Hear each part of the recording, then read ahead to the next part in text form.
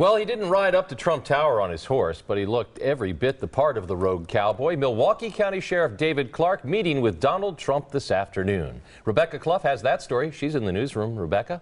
That's right, George. Sheriff David Clarke walked into the Trump lobby this afternoon in his signature look to meet with the president-elect. The sheriff was wearing his cowboy hat and carrying a briefcase as he went in to meet with Donald Trump. A Trump transition team member says Clarke is being considered for a number of positions, not just Secretary of Homeland Security, which has been widely reported.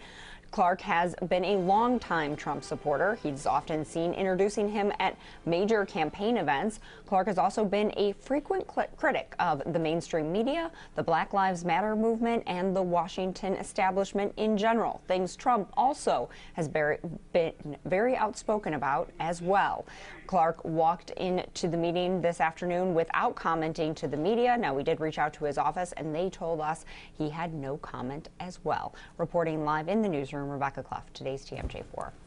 Thank you, Rebecca.